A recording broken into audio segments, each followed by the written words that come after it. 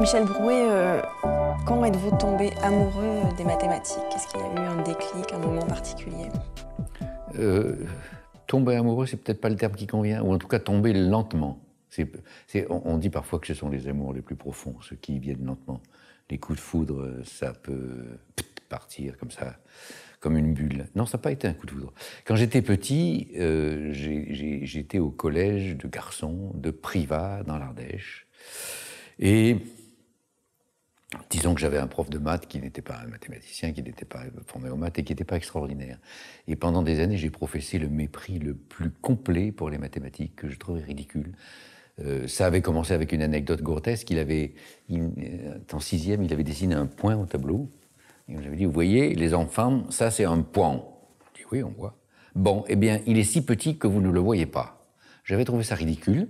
Je lui ai dit, mais monsieur, vous venez de dire, vous le voyez, et je le vois, et maintenant vous me dites, je ne le vois pas. Bon, c'est pas très, euh, c'est pas très significatif sur les mathématiques et la géométrie, mais j'étais, j'étais très mal disposé à l'égard des conventions qu'on m'expliquait très mal. Et il a fallu à la fois que mon grand-père, qui était instituteur mais féru de maths, mais tard, tardivement, parce que en troisième, jusqu'en troisième, je disais que les maths c'était une, activité totalement stupide où on appelait des règles par cœur et qu'on ne réfléchissait pas, ça me casse les pieds. Me fasse voir euh, il a fallu que mon grand-père me fasse voir des identités remarquables dans les triangles, me fasse voir que les médianes, les médiatrices, les bisectrices, tout ça, ça concourt, que les figures se déforment et qu'il y a des choses qui restent invariantes. J'ai trouvé ça bizarre quand même, là. J'ai trouvé ça tout à fait étonnant. Donc ça commençait à m'intéresser, mais bon, sans plus. Puis j'ai changé, euh, j'étais j'étais euh, précurseur en quelque sorte des enfants d'aujourd'hui. J'étais déjà fils de divorcé à l'époque. Donc j'ai quitté Privas où je vivais chez mes grands-parents pour aller vivre euh, chez mon père en banlieue parisienne. Et là, j'étais bon dans, dans, toutes les matières, mais pas en maths. Et là, du coup, ça m'a vexé. Donc, comme ça m'a vexé, j'ai travaillé. Comme j'ai travaillé, j'ai commencé à trouver que c'était pas si nul que ça, qu'il y avait des questions qui méritaient intérêt et même euh, réflexion. Mais ce qui m'a vraiment décidé à faire des études scientifiques, en fait, c'est plutôt la philo. Quand j'étais dans les cours de philo, euh, j'ai un souvenir très précis. Alors, je l'ai déjà raconté, mais comme je l'ai déjà raconté, on peut toujours se poser des problèmes de mémoire, se dire ah, la mémoire reconstitue les histoires. Donc, euh, avec ce bémol, je vais raconter la même histoire. On avait un devoir de philo à faire sur la notion de temps. Et je suis allé farfouiller euh, à la fois chez Bergson et chez Einstein. Einstein avait écrit un petit traité de vulgarisation vraiment qui s'appelle La théorie de la relativité restreinte et généralisée. Un tout petit livre, j'avais dans une vieille édition, je ne sais plus quel éditeur. Et j'ai trouvé, ça va paraître un peu brutal, un peu prétentieux, disons, mais qu'entre Bergson et Einstein, il n'y avait pas photo. Je trouvais Einstein passionnant et Bergson incompréhensible. Je ne comprenais pas ce qu'il voulait dire, ça répondait pas à mes questions. Alors que l'autre, là, il, l'autre, il partait en disant qu'est-ce que c'est que mesurer le temps? Bah, Vous avez une lumière qui s'allume et vous appuyez sur le, votre chronomètre, puis la lumière, un certain temps après, s'allume et vous appuyez sur votre chronomètre et vous regardez le temps qui passe.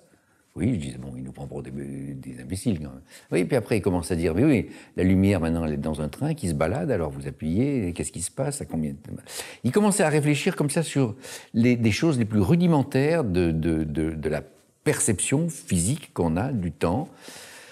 Et quelques pages plus loin, pas tant que ça, hein, pas tant que ça, il finissait par nous dire que le temps était relatif, relatif à l'observateur, relatif au repère. J'ai trouvé ça absolument génial, parce que comme je le croyais, ce mec-là, on disait que Einstein, quand même, a une certaine importance dans euh, ce qui se passait dans la physique contemporaine, dans les applications. Et je trouvais ça fantastique qu'on remette en question les fondements de tout ce qui était considéré comme acquis, qu'on le remette en question de manière systématique, modeste, mais précise, euh, modeste mais sans concession, et qu'au bout de 50 pages, on arrive à une révolution euh, physique, mais aussi philosophique. Mais aussi... J'ai trouvé ça fantastique. Donc j'ai décidé, ça va être encore plus immodeste qu'avant, j'ai décidé que je voulais être Einstein, en quelque sorte. Je voulais faire des choses comme ça, disons.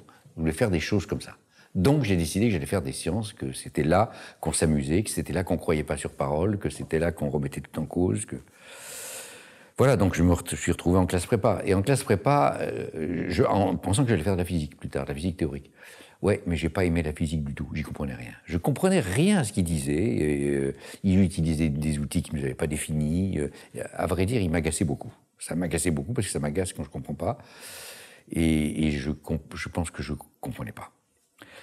Et petit à petit, je me suis rendu compte que ce que j'avais apprécié, euh, enfin même admiré outre mesure dans la démarche de vulgarisation d'Einstein, au fond, c'était un lieu commun en maths. Quand on, on, a, on commencé à m'expliquer, par exemple, qu'il y avait des, espaces de toutes dimensions, que bien entendu, on, prétendait qu'on vivait en trois dimensions, du moins c'est à peu près l'intuition qu'on en avait, mais qu'il y a une espèce de quatre dimensions, de cinq dimensions, de 24, de 268, bon, j'ai trouvé ça fantastique, qu'on puisse définir la notion de dimension d'un espace de manière intrinsèque. J'ai trouvé ça extraordinaire.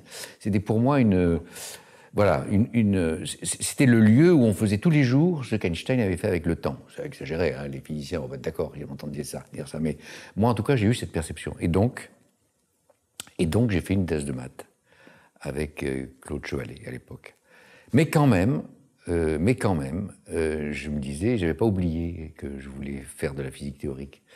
Et donc j'ai pris rendez-vous avec Francis Perrin, qui était à l'époque, je crois, professeur au Collège de France pour aller lui dire bon, maintenant que j'ai fait une thèse de troisième cycle de maths, je veux faire de la physique.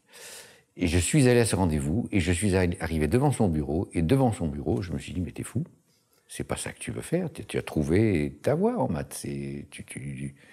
Tu as bien vu qu'on fait ça tout le temps en maths. Et j'ai donc fait demi-tour. Je lui ai écrit une lettre d'excuse. Et voilà comment je n'ai pas fait de physique, ou probablement j'aurais pas réussi, et j'ai fait des maths. Donc c'est pour ça que je disais, le tomber amoureux, c'est un peu long comme processus. Mais finalement, c'est solide. C'est solide. Et donc, vous auriez pu choisir une autre voie, faire un, autre métier? Ah oui, ça, pendant toute mon enfance, euh, ça, se partageait entre coureurs cyclistes, mais malheureusement, j'ai vite pris conscience que mon cœur battait trop vite.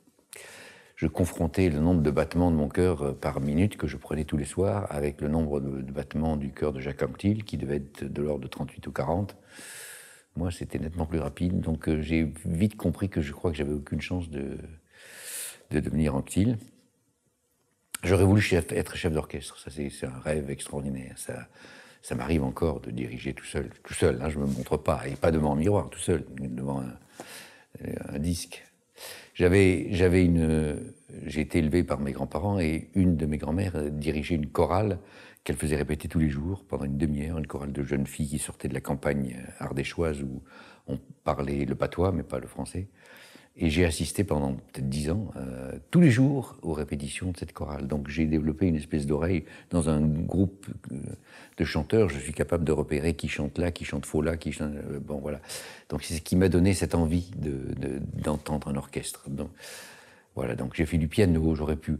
Mais j'avais pas d'ambition assez vite, je me serais tout à fait contenté, si je puis dire, d'être euh, pianiste de bar. D'ailleurs, j'en ai envie.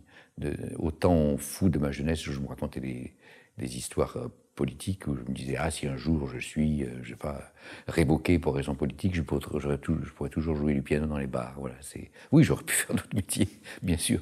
J'aurais aussi beaucoup aimé être journaliste, un vrai journaliste, un, journaliste. Euh, Qu'est-ce que ça veut dire un vrai journaliste? Ça veut dire un journaliste qui bosse, qui raconte pas de salade, qui est accroché aux faits.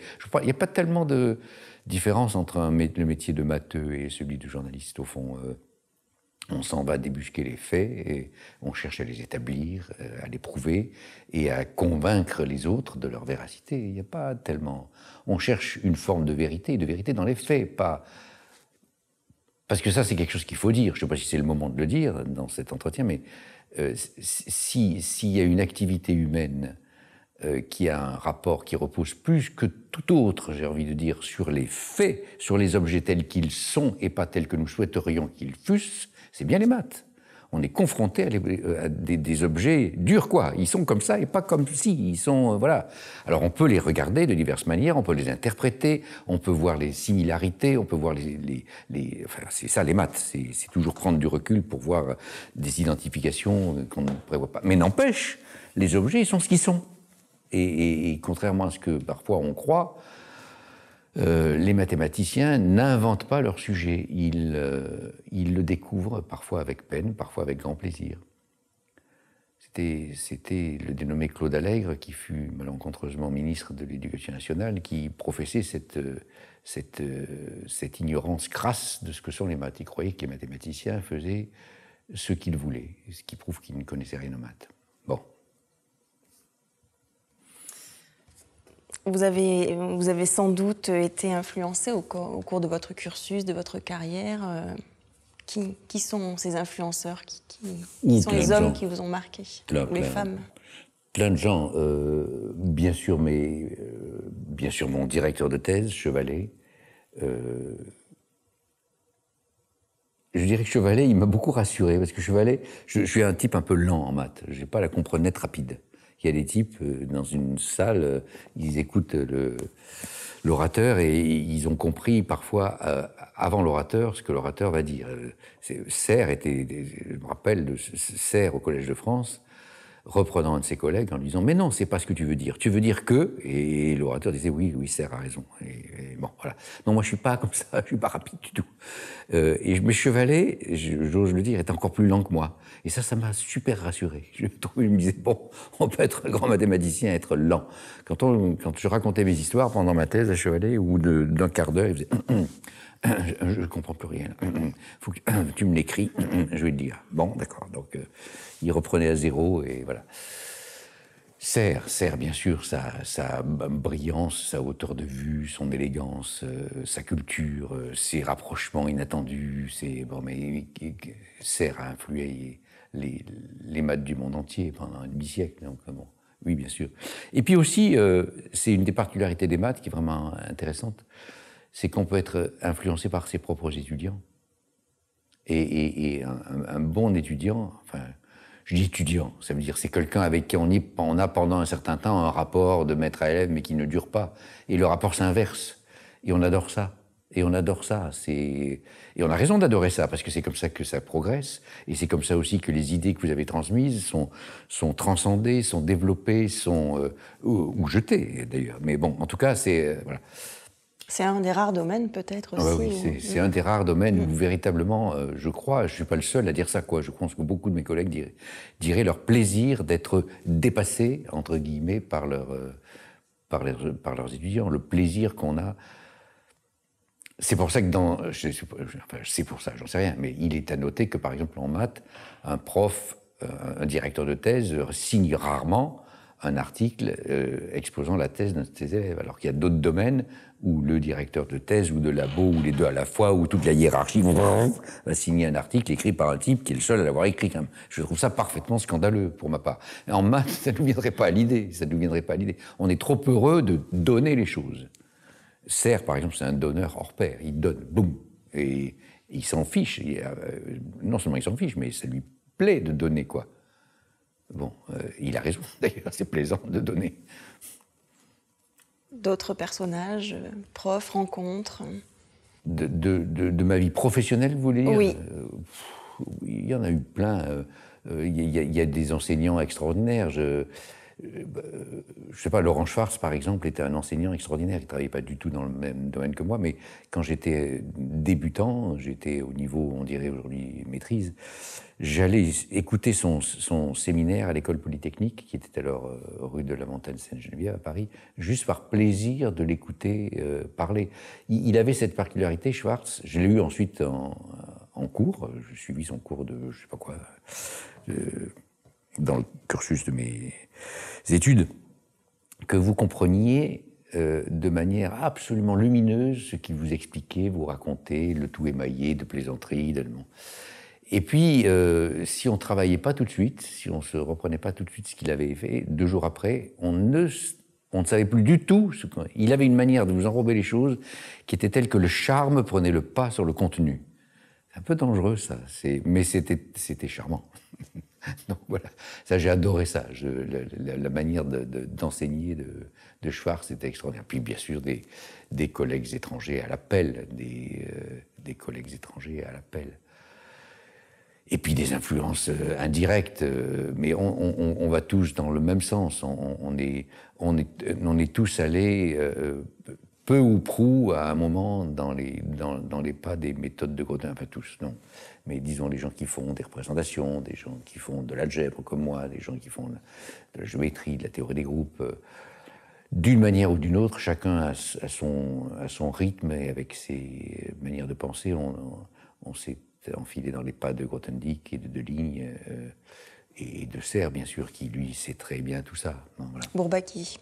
Bourbaki. Bourbaki. J'ai eu beaucoup, beaucoup, beaucoup de respect pour Bourbaki. Je supporte pas très difficilement les critiques de Bourbaki. Euh, il y a des critiques. Si on dit qu'il manque la théorie des catégories dans Bourbaki, euh, ce n'est pas une critique, c'est un fait. Donc c'est un fait.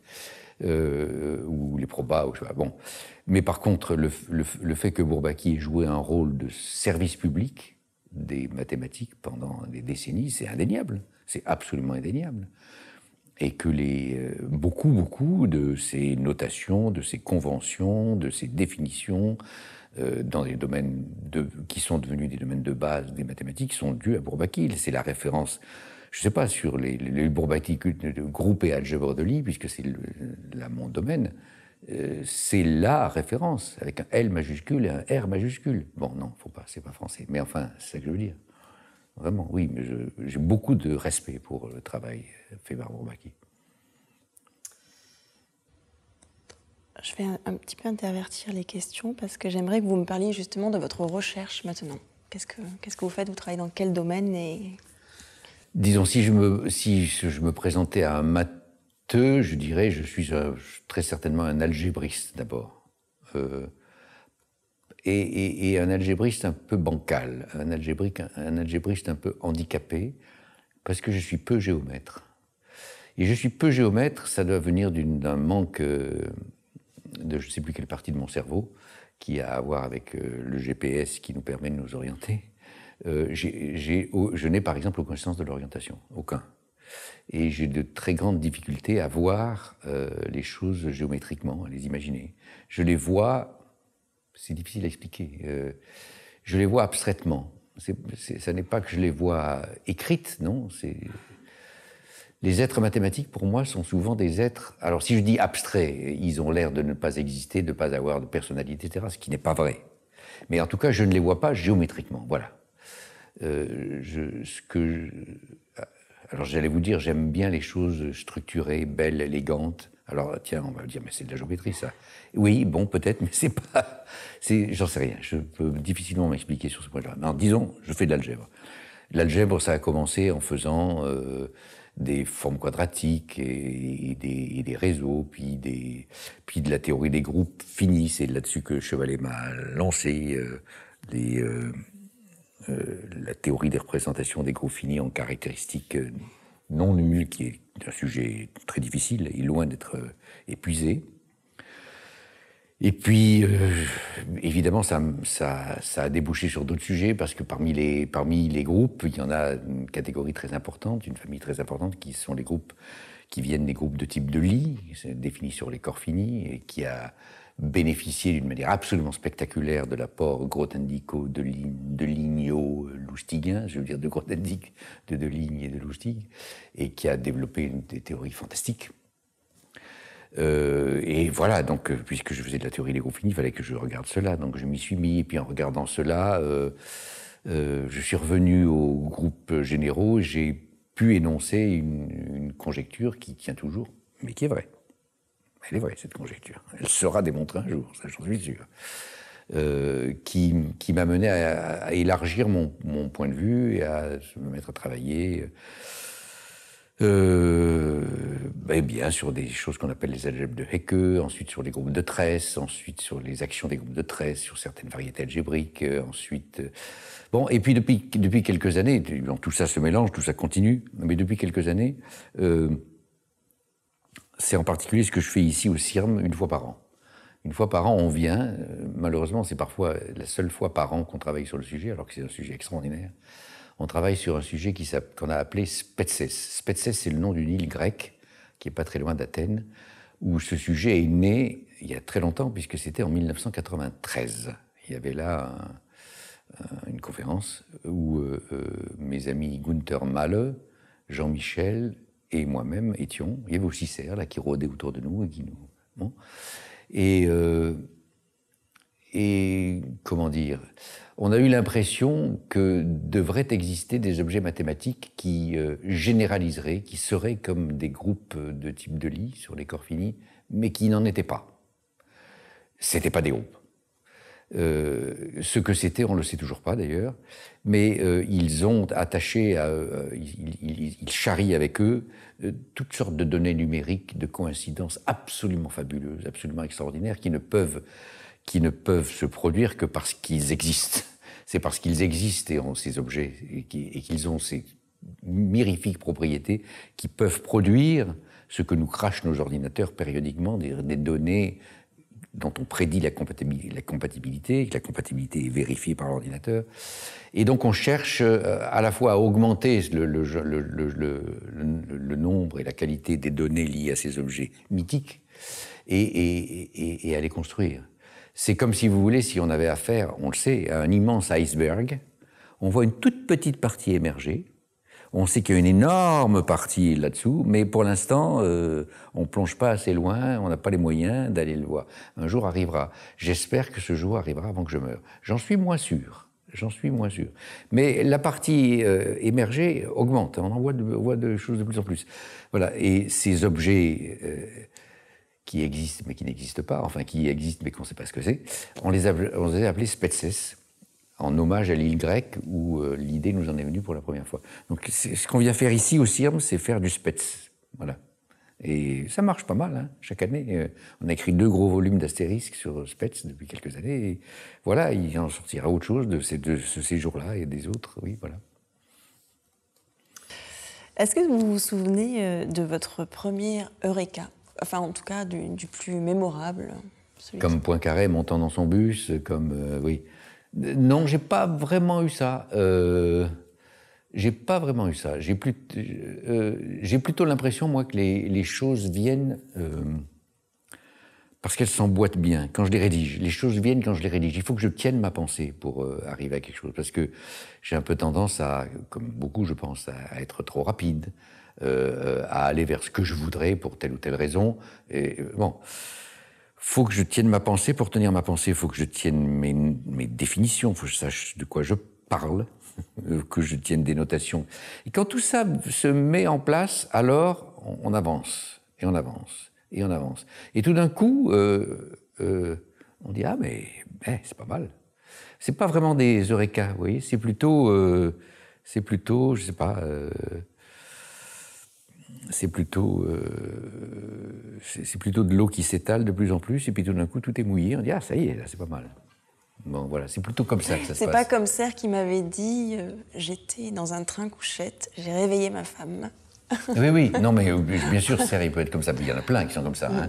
Mm-hmm. on sait très bien qu'il y a des choses, parfois on comprend le matin des choses qu'on ne comprenait pas le soir en se couchant. Moi aussi, j'en ai des histoires comme ça, mais elles sont pas euh, chez moi, en tout cas, elles ne sont pas fondamentales. C'est pas des choses. Ce qui m'a marqué, le plaisir, disons, euh, c'est plutôt, plutôt cette progression systématique quand on arrive à se tenir quand on arrive aussi à ne pas, à ne pas écrire il est clair que, c'est parce que puis vous citez Serre, Serre me dit toujours si tu écris il est clair que, le bon Dieu va te punir.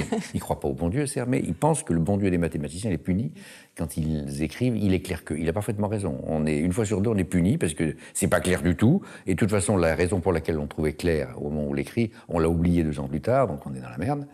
Donc euh, voilà, euh, il faut voilà cette, cette, cette progression, euh, cette progression super honnête, quoi, super exigeante, et, mais solide, qui débouche, moi je trouve ça formidable. C'est, pas sans rapport avec le premier petit bouquin d'Einstein que je citais. Petit à petit, petit à petit. Il n'y avait pas un oreca, il y avait juste. Euh, bon, alors ça c'est acquis, alors on va là, c'est acquis, voilà, voilà. Ça, et c'est ce qui fait des maths aussi, en tout cas tel que je les pratique, un univers assez hum, reposant. Euh, disons, assez sécure assez, bon, sécure, c'est pas un mot français, assez, euh, je sais pas quoi, sécurisant. Sécurisant. Voilà.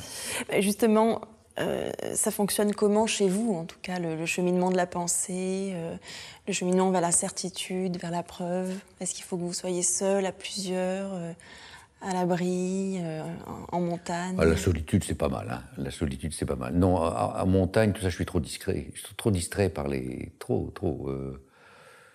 L'autre jour, on me demandait si quand je faisais du vélo, j'arrive à penser non. Je pense à mes pédales, voilà. Je, pense à mes. Non. Euh, non. Non, c'est plutôt en travaillant. C'est plutôt en travaillant ou en, réfléchissant autour du travail, ou en me levant autour de ma machine ou de ma, feuille de papier. Euh, mais. Euh,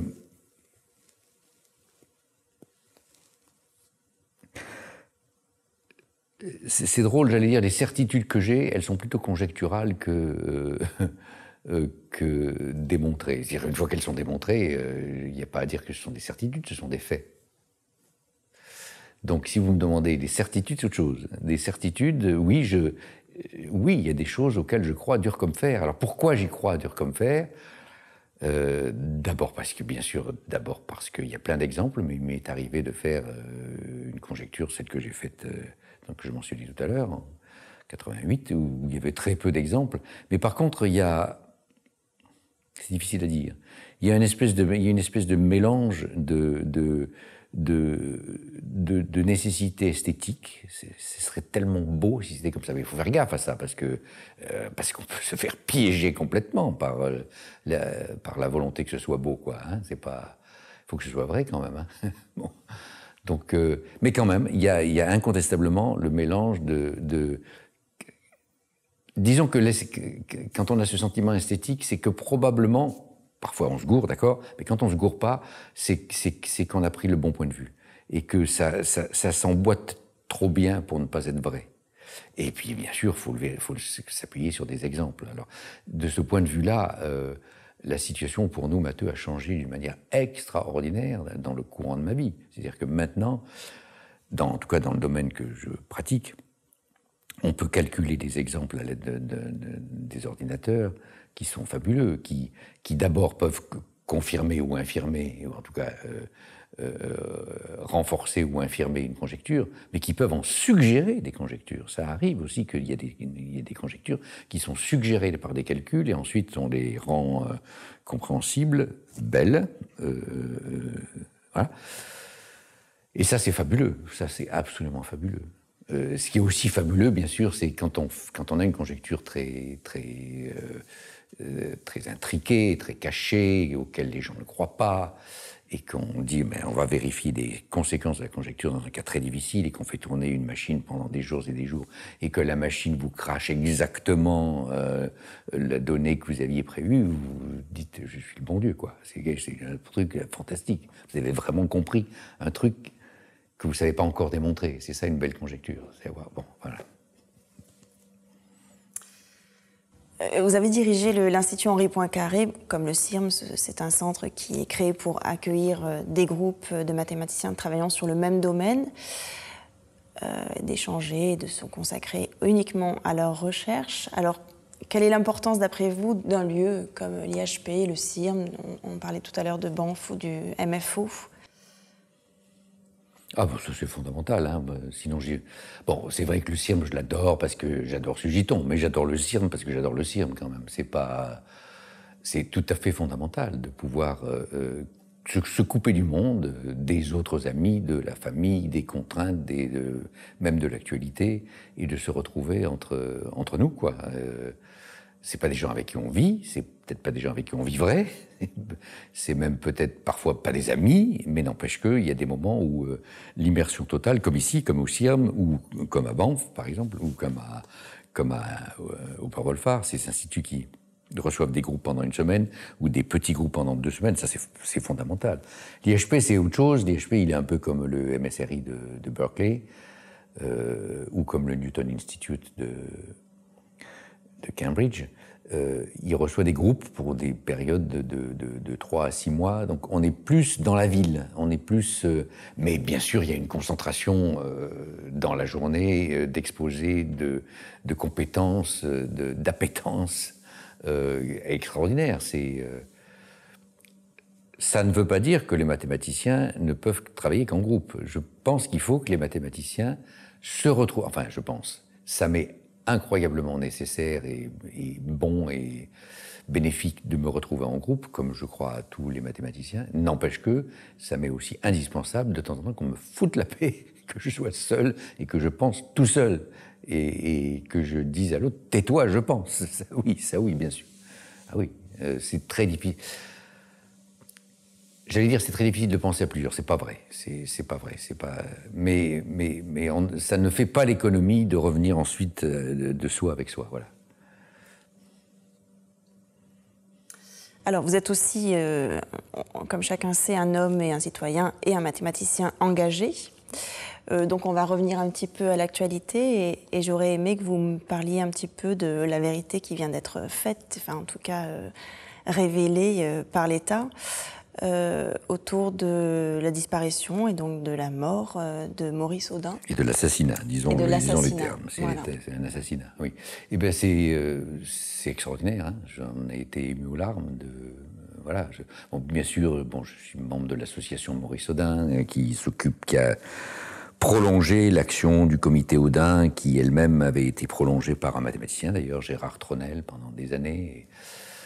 Les mathématiciens sont certes pas les seuls à avoir travaillé sur l'affaire Audin. Hein. Il y a beaucoup d'historiens, il y a beaucoup d'associations, et à commencer par, bien sûr, Josette Audin et, ses enfants Pierre et Michel. qui ont.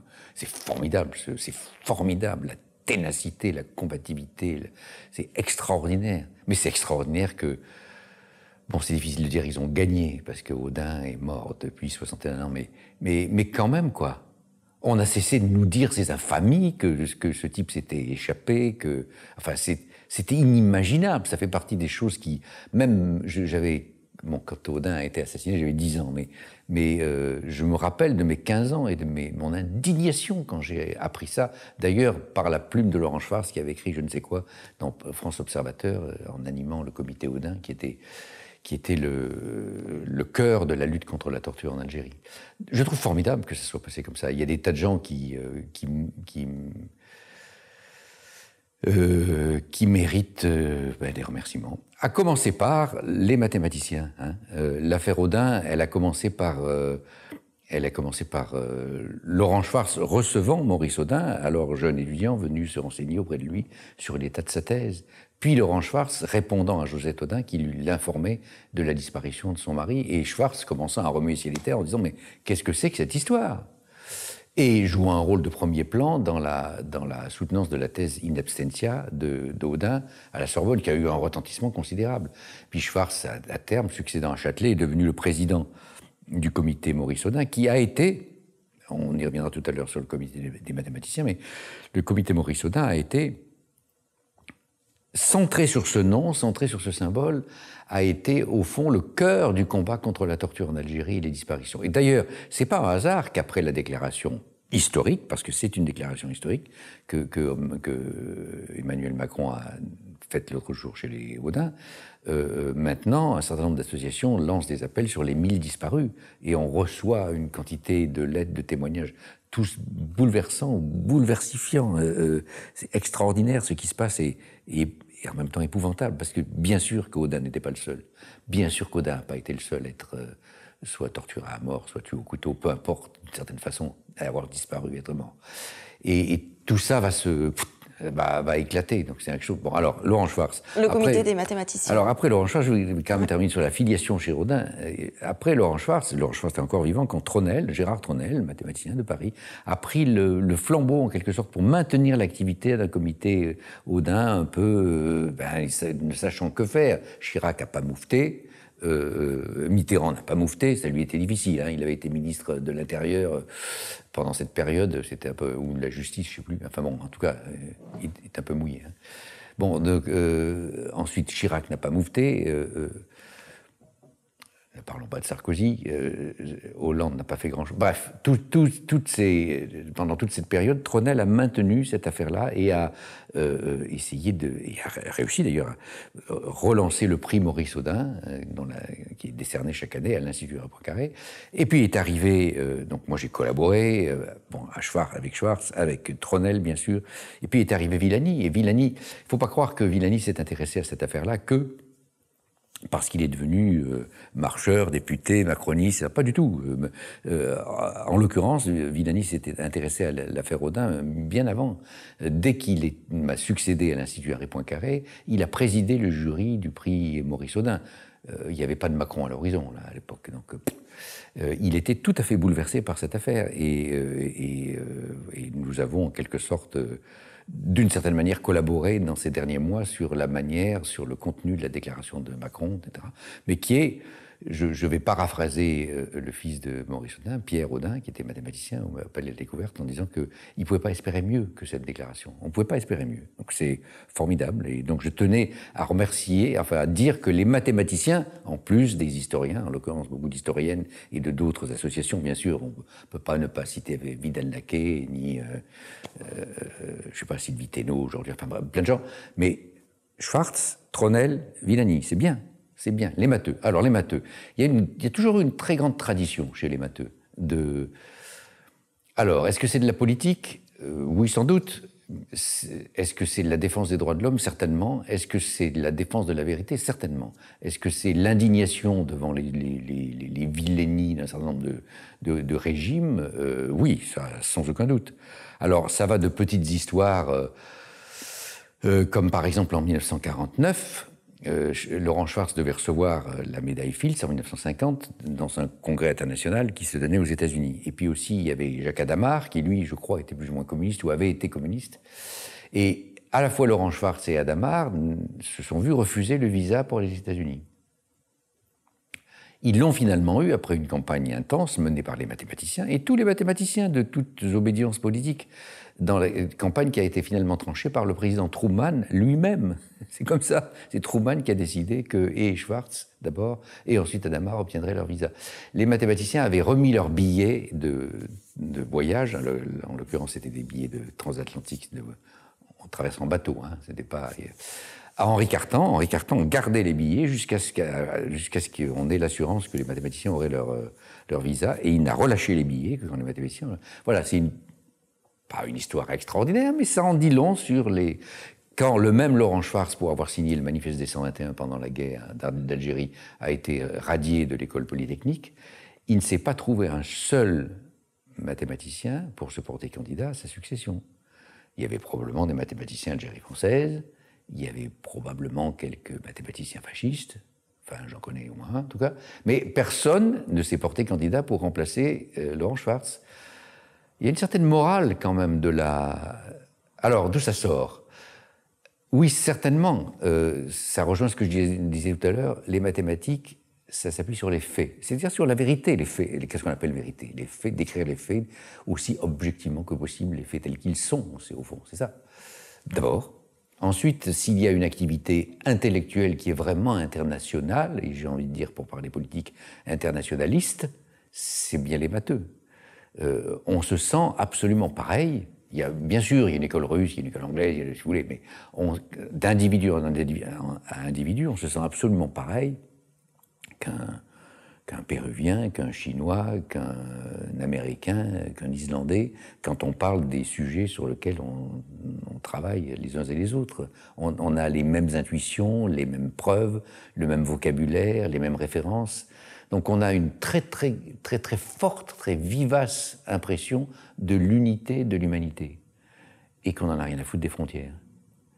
C'est pour ça que je disais internationaliste. Et, euh, oui, bien sûr, euh, bien sûr que ça, ça joue un rôle dans, dans, la dans la sensibilité euh, exacerbée des mathématiciens aux injustices, singulièrement quand elles sont faites à l'un des leurs. Euh, le comité des mathématiciens, donc, euh, euh, dont on va parler un petit peu, puisque s'est fondé en 1973 ou 14, je ne sais plus maintenant, sur, sur le cas d'un mathématicien russe qui s'appelait Shikhanovich, qui était traducteur de Bourbaki, traducteur de la théorie des ensembles de Bourbaki plus précisément, à qui on reprochait, on disait qu'il avait une formation sérieuse et euh, un, esprit euh, rigoureux. On l'avait interné en hôpital psychiatrique quand même. Donc, euh, on lui reprochait d'avoir des intérêts différents, des intérêts en dehors de sa spécialité. C'était le reproche qui justifiait l'hospitalisation en hôpital psychiatrique. Donc là, voilà quelque chose qui faisait bondir les matheux, évidemment. Qu'un matheux s'intéresse à autre chose qu'à la... Et ce comité des mathématiciens, oui, a fonctionné pendant des années et au fond, sur le principe du comité Odin, c'est-à-dire on prend un nom, on en fait un symbole, et à travers ce symbole, on pose plein d'autres problèmes. le, premier nom qui est venu, le symbole du comité des mathématiciens, c'est le nom mathématicien ukrainien qui est aujourd'hui oublié, qui est mort l'an dernier, qui s'appelle Leonid Pliouch. Et euh, ce, cas nous a été soumis par un collègue américain qui lui-même était venait des pays de l'Est, qui s'appelait Lippmann Mers, qui était un grand mathématicien. Et ce Pliouch était une espèce, était un opposant de gauche, euh, euh, ce qui était relativement rare, en tout cas ça s'exprimait rarement, au régime alors dirigé par Brezhnev. Il était, il manifestait son opposition à l'invasion de la Tchécoslovaquie. Il, voulait, il disait comme dit la chanson Réveille-toi, Lénine, ils sont devenus fous. Enfin, il était, voilà, il était un opposant de gauche, il se voulait un communiste authentique, et on l'avait euh, euh, condamné euh, à être interné dans ce qu'on appelait les hôpitaux psychiatriques spéciaux, qui étaient en fait des prisons du KGB où il, bourrait les prisonniers d'allopéridol et de choses abominables. Il a vécu, il a subi des choses abominables. Et nous avons donc décidé de mener une campagne sur ce nom-là parce que ça suffisait, le stalinisme, quoi. Ça suffisait. Ça suffisait de, ne pas pouvoir dire ce qui se passait en, URSS. Euh, euh, c'était à peu près à la même période que Solzhenitsyn. Mais cette campagne a eu un retentissement extraordinaire. Schwartz raconte dans ses, dans ses mémoires que une fois à l'ambassade de l'URSS, je m'en souviens, j'y étais, il a dit à l'ambassadeur ou au conseiller de l'ambassade qui nous recevait Faites attention, les mathématiciens sont des gens influents et bientôt nous on, on entendra parler de Pluche dans toutes les capitales du monde. L'autre lui a ricané au nez qu'il était aussi fou que Pluche.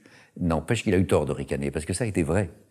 C'était une, c'était une histoire extraordinaire, encore une fois, qui est oubliée maintenant, ça se passait en 75-76. Mais euh, euh, cette campagne s'est appuyée sur un comité international des mathématiciens, dont j'assurais en quelque sorte le secrétariat. Je faisais le bulletin que j'envoyais aux correspondants internationaux. Ils le traduisaient, on faisait une réunion par mois, on se réunissait à Bourbaki, et puis on s'est mis à, au fur et à mesure que la répression, euh, que les conditions de détention de plus s'aggravaient, on, on, montait d'un cran. Et alors on a fait des conférences de presse, et hein, puis on a, organisé un meeting fabuleux de, à la mutualité en octobre 75. Et, tout ça a débouché sur une prise de position euh, à la fois inattendue, mais que nous recherchions, euh, du Parti communiste français, qui a dit bah, si c'est vrai que ce Pliouche est en prison pour des raisons, enfin en hôpital psychiatrique spécial pour des raisons politiques, c'est regrettable. Là, on a senti que, euh, et en effet, trois mois plus tard, Pliouche était libéré dans des conditions rocambolesques. Il a tenu une conférence de presse à Paris où l'ensemble des télés américaines, canadiennes, européennes étaient là. Euh, John Baez était assise là au premier rang. Elle est venue nous proposer de nous emmener dans sa chambre d'hôtel pour chanter les chansons après. Une histoire de. Voilà. Euh, ça a fait la une du monde. Le Monde, le a titré en une l'interview de, de Plouche. C'est une histoire considérable qui a joué incontestablement euh, un rôle dans peut-être pas à 89, mais dans, en tout cas ce qui a mené de Brezhnev à Gorbatchev. C'était quand même pas tout à fait la même chose Brezhnev et Gorbatchev. Et là, véritablement, c'est certain que la décision de libération de Plouch a été prise au Kremlin par Brezhnev ou un de ses copains, à la suite de la campagne que nous avions menée, moi dans mon garage avec ma petite Bronéo au début. C'était aussi enthousiasmant qu'une conjecture démontrée, hein, ça je peux vous le dire. Et il y, en a eu d'autres. Il y en a eu d'autres, bien sûr, parce qu'à ce moment-là, on est devenu une espèce de référence. Et puis ça nous a encouragés. Donc on s'est occupé de Sion Incidon, qui était un jeune mathématicien marocain qui avait été torturé. Schwartz et moi sommes allés au Maroc en vain. Ensuite, je suis allé moi clandestinement au Maroc. Je me suis fait passer pour son cousin d'Acidon. Je suis pénétré dans sa prison. J'ai visité comme ça la sinistre prison de Kenitra au Maroc. On s'est occupé de José Luis Macera en Uruguay, qui était lui un dirigeant communiste. Après s'être occupé d'un opposant communiste, on s'est occupé de Macera. On s'est occupé de. Là, beaucoup de mathématiciens s'en sont mêlés de manière très efficace. Par exemple, Jean, Dieudonné, s'en est beaucoup mêlé, alors qu'il n'était certainement pas de gauche, Dieudonné. Mais il a défendu Macera, Mortigus, en, y allant. Bref. On s'est occupé plus tard, après, de, de, Staransky, qui était un militant juif, pour le coup, qui est devenu, lui, ministre de droite en Israël des années plus tard. Enfin bref. Et à chaque fois, c'est tout à fait immodeste ce que je veux dire, mais à chaque fois on a gagné. À chaque fois on a gagné. Parce qu'on ne s'est jamais laissé, on, on, laissé. D'abord, on n'a jamais triché. On a toujours dit ce qu'on faisait, fait ce qu'on disait.